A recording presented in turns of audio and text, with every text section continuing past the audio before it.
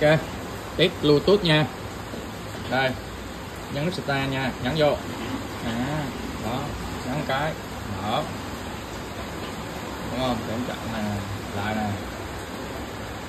Đó đó rồi. Đó nhìn cần cho rồi nhấn nút nè. Đó nó hiện lên cái phím à, màu đỏ đấy nè. Không cần luôn coi cho nó dễ. Đó màu đỏ. đó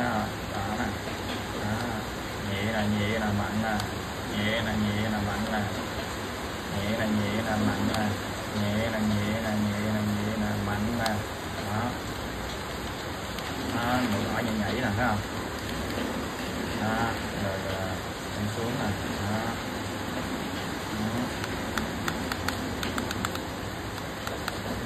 không cho nha. Đó, bluetooth cũng không cho luôn đó. rồi ờ, tất cả các nút đều có nha.